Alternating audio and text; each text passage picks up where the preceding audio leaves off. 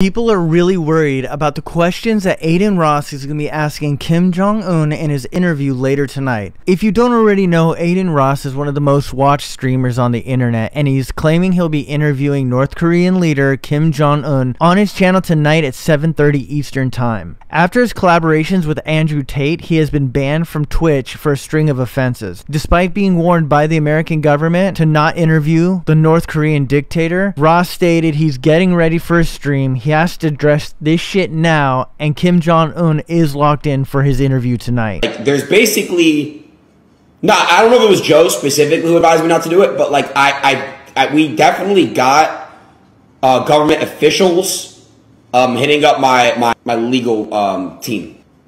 Yeah, I was really. Yeah, I don't want to start any wars, chat. But people are worried about the questions he's going to be asking. Also, IShowSpeed is supposed to drop in in the interview as well. People are concerned it might start World War III.